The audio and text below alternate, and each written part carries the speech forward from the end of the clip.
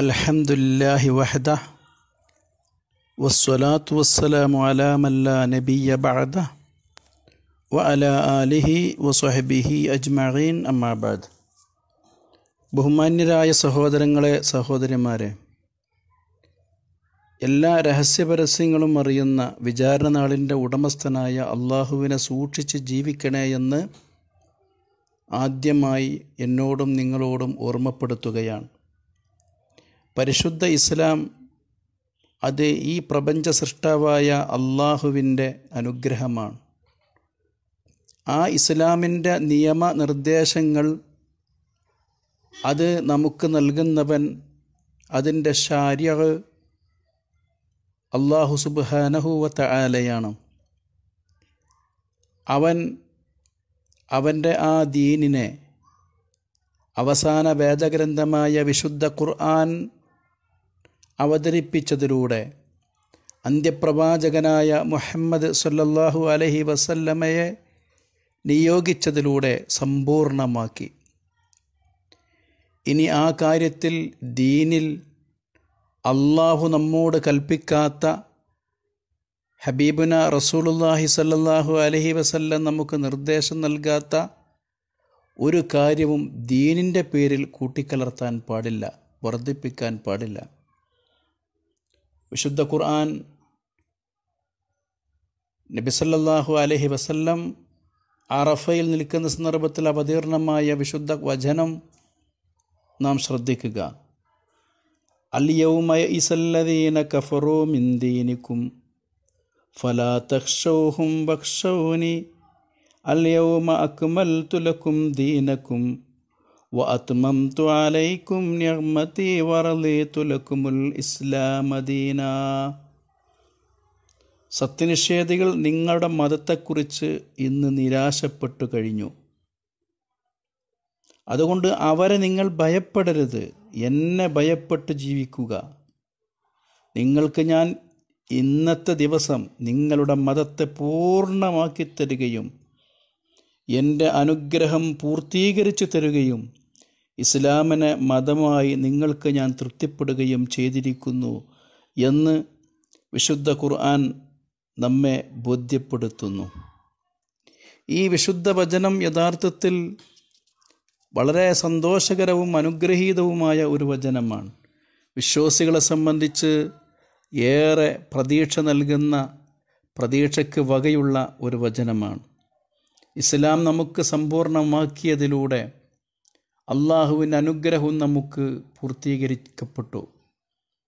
ഈ ലോകത്ത് വന്ന നിയോഗിതമായ മുഴുവൻ സമുദായത്തിൽ നിന്നും ഏറ്റവും ആദ്യമായി സ്വർഗപ്രവേശം നേടാൻ ഭാഗ്യം കിട്ടുന്നത് ഈ ഉമ്മത്തിനാണ് എന്ന കാര്യം നാം ഗൗരവപൂർവം ഓർക്കുക. ഈ ആയത്തിനെ അലിയവുമ അക്കുമൽ തുലക്കും ദീനക്കും എന്ന ആയത്തിനെ മഹാനായ ഇബിനു ജരീർ തൊബിരി റഹിമഹുല്ല വിശദീകരിച്ചതിന്റെ ഒരു സംഗ്രഹം നമുക്ക് ഇങ്ങനെ മനസ്സിലാക്കാം. സത്യവിശ്വാസികളെ നിങ്ങൾക്ക് ഞാൻ നിർബന്ധമാക്കിയ കാര്യങ്ങളും എന്റെ നിയമപരിധികളും നിങ്ങളോടുള്ള എന്റെ കൽപ്പനയും എന്റെ നിരോധനാജ്ഞയും എന്റെ ഹലാലും എന്റെ ഹറാമുമെല്ലാം ഞാൻ ഇന്നിതാ നിങ്ങൾക്ക് പൂർത്തീകരിച്ചു തന്നിരിക്കുന്നു. ആ വകുപ്പിൽ എന്റെ അവതരണമായിട്ടുള്ളത് എന്റെ ഗ്രന്ഥത്തിൽ ഞാൻ ഇറക്കിയതാണ്. അതിൽ എന്റെ വിവരണമായിട്ടുള്ളതോ ആ എന്റെ സന്ദേശം മുഖേന എന്റെ റസൂലിന്റെ നാക്കിലൂടെ ഞാൻ നിങ്ങൾക്ക് വിവരിച്ചു തന്നതുമാണ്. നിങ്ങളുടെ മതവിഷയത്തിൽ നിങ്ങൾക്ക് ആവശ്യമായ സർവകാര്യങ്ങൾക്കുമായി ഞാൻ നിരത്തിയ ദൃഷ്ടാന്തങ്ങളും മാത്രമാണ്. അങ്ങനെ അതെല്ലാം ഞാൻ നിങ്ങൾക്ക് പൂർത്തീകരിച്ചു തന്നിരിക്കുകയാണ്. അതുകൊണ്ട് ഈ ദിവസത്തിന് ശേഷം ആ വകുപ്പിൽ ഇനി യാതൊരു വർധനവുമില്ല എന്ന് മഹാനായ ഇബിനു ജരീറുത്തൊബരി റഹ്മത്തുല്ലായി അലേഹി ആ ആയത്തിനെ വിശദീകരിക്കുന്നു. മഹാനായ ഇബിനു കസീർ റഹ്മത്തുല്ലായി അലേഹി അദ്ദേഹത്തിന്റെ തഫ്സീറിൽ ഈ ആയത്തിന്റെ തഫ്സീറിൽ അദ്ദേഹം പറഞ്ഞതിന്റെ ഒരു സംഗ്രഹം നമുക്കിങ്ങനെ ശ്രദ്ധിക്കാം. ഈ സമുദായത്തിന്റെ മതത്തെ ഇനി ഒരു മറ്റൊരു മതത്തിന്റെയോ റസൂലിന്റെയോ ആവശ്യമില്ലാത്ത വിധം പൂർണമാക്കിയതിലൂടെ അള്ളാഹു വലിയ അനുഗ്രഹമാണ് ചെയ്തത്. അതുകൊണ്ടാണ് നബിസല്ലാഹു അലി വസല്ലമ്മയെ അമ്പിയാക്കളിൽ അന്ത്യപ്രവാചകനായും മനുഷ്യരുടെയും ജിന്നുകളുടെയും പ്രവാചകനായും നിയോഗിച്ചിട്ടുള്ളത്. അദ്ദേഹം അനുവദനീയമാക്കിയതല്ലാത്ത ഒരു അനുവദനീയവുമില്ല. അദ്ദേഹം നിഷിദ്ധമാക്കാത്ത ഒരു നിഷിദ്ധവുമില്ല. അദ്ദേഹം നിയമമാക്കാത്തതൊന്നും മതത്തിലില്ല. എല്ലാറ്റിനെ സംബന്ധിച്ചും അദ്ദേഹം പറഞ്ഞിട്ടുണ്ട്. അദ്ദേഹം സത്യമാണ്. സത്യസന്ധനാണ്. വ്യാജനോ മാറ്റം വരുത്തുന്നവനോ അല്ല. മഹാനായ ഇമാം ഷാത്തിബി റഹ്മഹുല്ല അദ്ദേഹത്തിന്റെ അലിയാത്തിസ്വാം എന്ന ഗ്രന്ഥത്തിൽ ഇമാം മാലിക് റഹിമയുള്ളയുടേതായി പ്രസ്താവിക്കുന്ന പ്രസ്താവം നമുക്ക് കാണാം. من ابتدع في الإسلام بدعة يراها حسنة فقد زعم أن محمدا صلى الله عليه وسلم خان الرسالة لأن الله يقول اليوم أكملت لكم دينكم وأتممت عليكم نعمتي ورضيت لكم الإسلام ديناً. ഫമാലം യക്കുൻ യൗമ ഇതിൻ ദീനൻ ഫലായക്കൂനുൽ യൗമ എന്ന് മഹാനായ മാലിക് റഹിമയുള്ളയുടെ പ്രസ്താവന ഇമാം ഷാത്യുബി ഉദ്ധരിക്കുകയാണ്.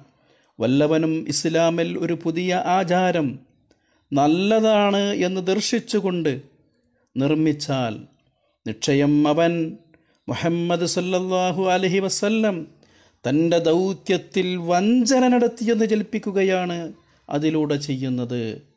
കാരണം അള്ളാഹു പറയുന്നു ഇന്ന് നിങ്ങളുടെ മതം നിങ്ങൾക്ക് ഞാൻ സമ്പൂർണമാക്കി തന്നു എന്ന വചനം അദ്ദേഹം അവിടെ എടുത്തു കൊടുക്കുന്നു. എന്നിട്ട് അദ്ദേഹം പറയുന്നു ഈ ആയത്ത് അവതരിപ്പിക്കപ്പെടുന്ന ദിവസം മതമല്ലാത്ത ഒന്നും ഇനി മതമാവുകയില്ല എന്ന് ഇമാം മാലിക് റഹിമഹുല്ല പറഞ്ഞതായി ഉദ്ധരിക്കുകയാണ്. സഹോദരങ്ങളെ നബിസല്ലാഹു അലഹി വസല്ലം നമുക്ക് വേണ്ട സ്വർഗത്തിലേക്ക് അടുപ്പിക്കുന്ന എല്ലാ കാര്യങ്ങളും നമുക്ക് പഠിപ്പിച്ചു തന്നിട്ടുണ്ട്. സ്വർഗത്തിലേക്ക് നിങ്ങൾ അടുപ്പിക്കുന്ന സംഗതികളിൽ ഒന്നുപോലും ഞാൻ നിങ്ങൾക്ക് വിശദീകരിച്ചു തരാതെ ഉപേക്ഷിച്ചു പോയിട്ടില്ല. നരകത്തിൽ നിന്ന് നിങ്ങളകറ്റുന്ന യാതൊരു കാര്യവും നിങ്ങൾക്ക് പറഞ്ഞു തരാതെ ഞാൻ ഉപേക്ഷിച്ചിട്ടുമില്ല എന്ന് നബിസല്ലാഹു അലഹി വസല്ലമ്മയുടെ വചനം ഇമാം തുബ്രാനി ഉദ്ധരിക്കുന്നുണ്ട്. പ്രവാചകൻ സല്ലല്ലാഹു അലഹി വസല്ലം നമുക്ക് അള്ളാഹു നൽകിയിട്ടുള്ള എല്ലാ സന്ദേശങ്ങളെയും ഹറാം ഹലാലുകളെയും അദ്ദേഹം നമുക്ക് പഠിപ്പിച്ചു തന്നിട്ടുണ്ട്.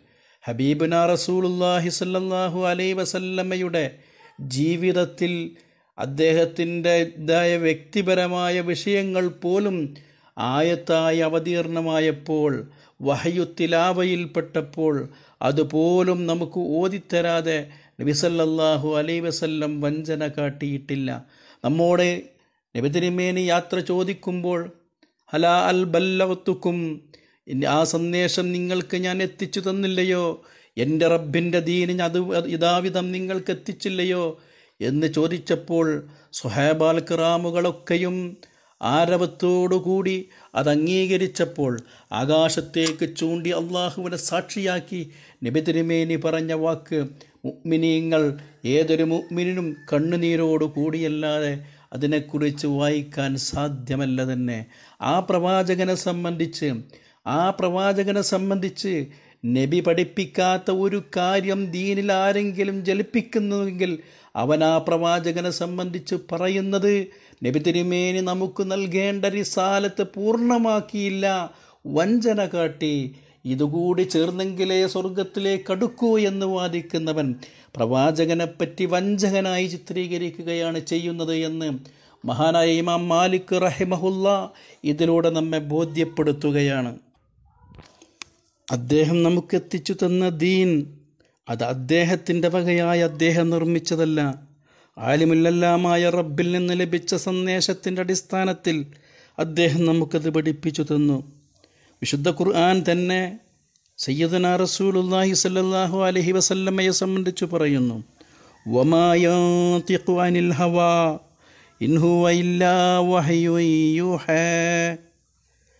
അദ്ദേഹം സ്വച്ഛയനുസരിച്ച് സംസാരിക്കുകയില്ല. അത് ദിവ്യ സന്ദേശം നൽകപ്പെട്ട വഹയല്ലാതെ മറ്റൊന്നുമല്ല എന്നാണ് മഹാനായ റസൂളുല്ലാഹി സല്ലല്ലാഹു അലൈഹി വസല്ലമയെ സംബന്ധിച്ച് അള്ളാഹു പോലും പറഞ്ഞത്. അതുപോലെ തന്നെ ഇവിടെ ഈ തഫ്സീർ തഫ്സീർ സോവി ഈ ആയത്തിന്റെ ഷറഹിൽ നമുക്ക് കാണാം. അതിന്റെ ആശയം ഇങ്ങനെയാണ്. ഖുർആാനും മറ്റുമാണ് അദ്ദേഹം പറഞ്ഞു തരുന്ന എന്നതിന്റെ വിവക്ഷ. സംസാരം പോലെ തന്നെയാണ് അവിടുത്തെ പ്രവർത്തനവും. അവിടുത്തെ മുഴുവൻ അവസ്ഥയും അങ്ങനെ തന്നെ. അപ്പോൾ നബി പറയുന്നതും പ്രവർത്തിക്കുന്നതും അള്ളാഹുവിൽ നിന്നുള്ള സന്ദേശമനുസരിച്ച് മാത്രമാണ്. അവിടുത്തെ ഇച്ഛയനുസരിച്ചല്ല എന്ന് തഫ്സീർ സോവി അദ്ദേഹത്തിന്റെ തഫ്സീറിൽ ഉദ്ധരിക്കുകയാണ്. അതുപോലെ തന്നെ മതമെന്ന നിലയിൽ ഏതൊരു കാര്യം നമ്മെ പഠിപ്പിക്കണമെങ്കിലും നബി സല്ലാഹു അലൈഹി വസല്ലമക്ക് മാത്രമല്ല പൂർവകാല പ്രവാചകന്മാർക്ക് പോലും ആ അള്ളാഹുവിൻ്റെ സന്ദേശമില്ലാതെ അവർക്ക് ദീനിലൊരു കാര്യം പുണ്യമായി പഠിപ്പിക്കുവാനോ മറ്റേതെങ്കിലും നിലക്ക് അവർക്ക് ഒരു മതം നിയമം ഉണ്ടാക്കുവാനോ അധികാരം അള്ളാഹു നൽകിയിട്ടില്ല പ്രവാചകന്മാരെ പല പ്രവാചകന്മാരെ സംബന്ധിച്ചും പരാമർശിച്ചുകൊണ്ട് ഖുർആൻ നമ്മോട് പറഞ്ഞു وجعلناهم أئمة يهدون بأمرنا وأوهينا إليهم فعل الخيرات وإقام الصلاة وإيتاء الزكاة وكانوا لنا عابدين നാം അവരെ നമ്മുടെ കൽപ്പനയനുസരിച്ച് ജനങ്ങൾക്ക് മാർഗദർശനം ചെയ്യുന്ന നേതാക്കളുമാക്കി പുണ്യകർമ്മങ്ങൾ ചെയ്യാനും നമസ്കാരം നിലനിർത്താനും ജക്കാത്ത് നൽകാനും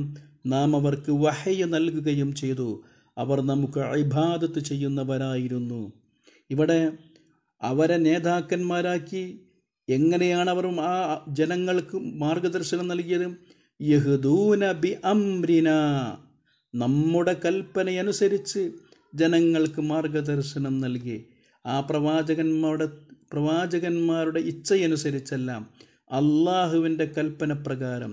വൗഹൈന ഇലൈഹിം ഫിഅലൽ ഖൈറാത്ത് പുണ്യകർമ്മങ്ങൾ പുണ്യകർമ്മങ്ങൾ പ്രവർത്തിക്കാൻ ഞാൻ അവരിലേക്ക് സന്ദേശവും നൽകി എന്ന് പറയുന്നതിലൂടെ പ്രവാചകന്മാർക്ക് പോലും സ്വന്തം ഇച്ഛയനുസരിച്ച് മതത്തിൽ നിയമമുണ്ടാക്കാൻ അധികാരമില്ല എന്നതാണ് നാം മനസ്സിരുത്തേണ്ട ഒരു കാര്യം. ദീനിൽ നിന്ന് മാറ്റം വരുത്താൻ ദീനിന്റെ ആശയങ്ങളിൽ പകരം ചെയ്യാൻ അവർക്കൊരവകാശവുമില്ല. വിശുദ്ധ ഖുർആൻ തന്നെ നമ്മോട് പറയുന്നു وإذا تتلى عليهم آياتنا بينات قال الذين لا يرجون قال الذين لا يرجون لقاءنا يأت بقرآن غير هذا يأت بقرآن غير هذا أو بدل قل ما يكون لي أن أبدله من تلقاء نفسي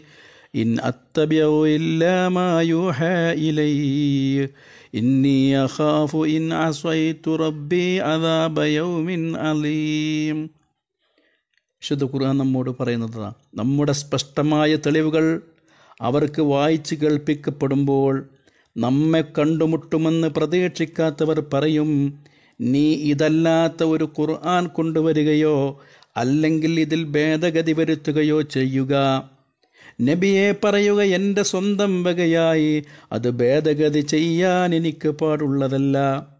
എനിക്ക് ബോധനം നൽകപ്പെടുന്നതിനെ പിൻപറ്റുക മാത്രമാണ് ഞാൻ ചെയ്യുന്നത്. തീർച്ചയായും എന്റെ രക്ഷിതാവിനെ ഞാൻ ധിക്കരിക്കുന്ന പക്ഷം ഭയങ്കരമായ ഒരു ദിവസത്തിന്റെ ശിക്ഷയെ ഞാൻ പേടിക്കുന്നു എന്ന് പറയാൻ നബിയോട് അള്ളാഹു നിർദ്ദേശിക്കുകയാണ്. നബി എന്താ പറഞ്ഞത്? എന്റെ സ്വന്തം വകയായി ഭേദഗതി ചെയ്യാൻ എനിക്ക് പാടില്ല. നബിതിരുമേനിക്ക് പോലും ഇസ്ലാമിൽ ഭേദഗതി ചെയ്യാൻ അധികാരമില്ലെങ്കിൽ പിന്നാർക്കാണ് സഹോദരങ്ങളെ അനുവാദമുണ്ടാവുക. എനിക്ക് ബോധനം നൽകപ്പെടുന്നത് പിൻപറ്റുക മാത്രമേ ഞാൻ ചെയ്യുന്നുള്ളൂ എന്ന് പ്രവാചകൻ അവരോട് പഠിപ്പിക്കുന്നു. അള്ളാഹുവിന്റെ റസൂലിന്റെ വകയായി നിർമ്മിക്കുന്നതാണ് ഇത് എന്ന് ജൽപ്പിച്ച മക്കയിലെ മുഷരിക്കീങ്ങൾക്ക് ഖുർആൻ മറുപടി പറഞ്ഞു. വലോ തക്കവലാലൈന ബഅലൽ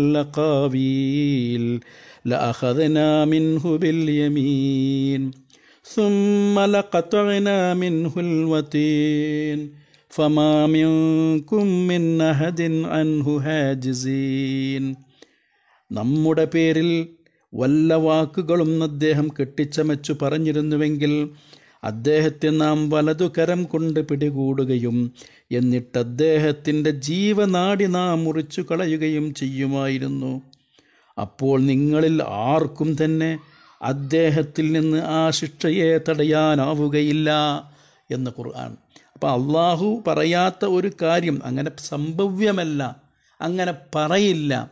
കാരണം അള്ളാഹുവിന്റെ റസൂൽ മഴസൂമാണ് ഒമായന്തിഖ്വാനിൽ ഹവ ഇൻഹുവ ഇല്ല വഹിയുഹ പക്ഷേ അങ്ങനെ എങ്ങാനും പറഞ്ഞാൽ നാം അദ്ദേഹത്തെ പിടികൂടുകയും അദ്ദേഹത്തെ വലിച്ചു കളയുകയും ചെയ്യുമെന്ന് വിശുദ്ധ ഖുർആൻ നമുക്ക് അതിന്റെ ഗൗരവത്തെ ബോധ്യപ്പെടുത്തി തരികയാണ് സഹോദരങ്ങളെ.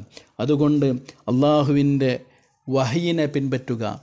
അതാണ് അള്ളാഹുവിന്റെ റസൂലിനോട് പിൻ നിർദ്ദേശിച്ചിട്ടുള്ളത്. വത്തബ്യൂഹ ഇലൈക്കമിൻ റബ്ബിക്ക നബിയെ നിന്റെ നീ നിന്റെ രക്ഷിതാവ് ങ്കിൽ നിന്ന് നിന്നിലേക്ക് വഹയ്യ നൽകപ്പെടുന്നതിനെ നീ പൻ പിൻപറ്റുക എന്നതാണ്.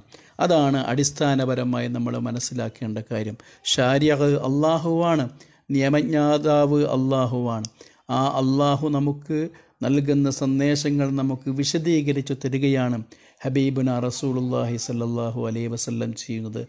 അല്ലാതെ പ്രവാചകന്റെ വകയായി ദീനിൽ ഒരു കാര്യവും പ്രവാചകൻ നന്മയായി ദർശിച്ചിട്ട് പോലും നന്മയായി തോന്നിയിട്ട് പോലും അള്ളാഹുവിന്റെ വഹയ് വരുന്നത് വരെയും അള്ളാഹുവിന്റെ റസൂൽ അത് നമുക്ക് പ്രത്യേകമായി പഠിപ്പിച്ചില്ല എന്ന് നാം ആലോചിക്കുക. മഹാനായ ഉമർ അലി അള്ളാഹു ആവ് കഴബ മക്കാം ഇബ്രാഹിം നമസ്കാര സ്ഥലമാക്കാൻ താല്പര്യപ്പെട്ടപ്പോൾ മുഹമ്മദ് നബി സ്വല്ലല്ലാഹു അലൈഹി വസല്ലമയും ആ ആഗ്രഹം മുമ്പേ ഉള്ളത് അറിയിക്കുകയാണ്. പക്ഷേ അള്ളാഹുവിന്റെ വഹയി ലഭിക്കാത്തത് കാരണം അദ്ദേഹം ഒരിക്കലും തന്നെ സ്വന്തം ഇഷ്ടപ്രകാരം ആ നന്മയിലേക്ക് മുന്നിടാൻ വേണ്ടി നബി അവരോട് ഉപദേശിച്ചില്ല. പകരം മക്കാമി ഇബ്രാഹിം മുസല്ല എന്നായത്തിറങ്ങിയപ്പോഴാണ് മക്കാമ ഇബ്രാഹിം നമസ്കാര സ്ഥലമായി അള്ളാഹുവിന്റെ റസൂൽ സ്വഹാബത്തിന് പഠിപ്പിച്ചു കൊടുക്കുന്നത്. അത്രമാത്രം ഗൗരവമാണ്. നന്മയുണ്ട് എന്ന് ദർശിച്ചിട്ട് പോലും നബിതിരിമേനിയുടെ സ്വന്തം ഇഷ്ടപ്രകാരം നബിതിരിമേനി സല്ലാഹു അലൈ വസല്ലം മാറ്റം വരുത്തിയില്ല. ബൈത്തുൽ മുഖദ്ദസിലേക്ക് നബി തിരിഞ്ഞു നമസ്കരിച്ചിരുന്ന സന്ദർഭത്തിൽ നബിയുടെ മനസ്സിന്റെ ഉള്ളിലുള്ള ആഗ്രഹം ഹറമിലേക്ക് കഴബയിലേക്ക് തിരിഞ്ഞു നമസ്കരിക്കാനായിരുന്നു. അതിൽ നന്മ ദർശിച്ചിരുന്നു. പക്ഷേ അതിലേക്ക് തിരിയാനുള്ള അള്ളാഹുവിന്റെ വഹയ്യ വരുന്നത് വരെയും നബി തിരുമേനി ബൈത്തുൽ മഖദസിലേക്കു തന്നെ തിരിഞ്ഞു നമസ്കരിച്ചു എന്നത് നാം ചിന്തിക്കുക. അള്ളാഹുവിന്റെ റസൂലിന് സ്വന്തം ഇഷ്ടപ്രകാരം ഒരു നിയമം നടപ്പിലാക്കാൻ ഒരു ഒരു ഒരു മതം മതത്തിന്റെ ആശയമായി നബിയുടെ ഇഷ്ടപ്രകാരം വല്ലതും പഠിപ്പിക്കാൻ അധികാരമില്ലെങ്കിൽ പിന്നെ ആർക്കാണ് സഹോദരങ്ങളെ നന്മ ചെയ്യ നന്മയാണെന്ന് ദർശിച്ചുകൊണ്ട് വല്ലതും ഈ ദീനിൽ പ്രവേശിപ്പിക്കാൻ അധികാരമുണ്ടാവുക. മഹാനായി ഇമാം മാലിക് റഹിമഹുല്ല പറഞ്ഞതുപോലെ അങ്ങനെ പറഞ്ഞാൽ നബിതിരിമേനി അദ്ദേഹത്തിന്റെ റിസാലത്ത് പൂർത്തിയാക്കിയിട്ടില്ല എന്നല്ലേ അവൻ അതിലൂടെ വാദിക്കുന്നത്? അത് നബിയെ വഞ്ചകൻ എന്ന് വിശേഷിപ്പിക്കുന്നതിന് തുല്യമല്ലേ എന്ന അദ്ദേഹത്തിന്റെ പ്രസ്താവം ഗൗരവത്തോടെ ആലോചിക്കുക. അള്ളാഹു സുബാനഹുവത്ത ആല ഹക്കായ നിലയിൽ ദീനിനെ മനസ്സിലാക്കുവാനുള്ള സൗകര്യം നമുക്ക് പ്രദാനം बराबर है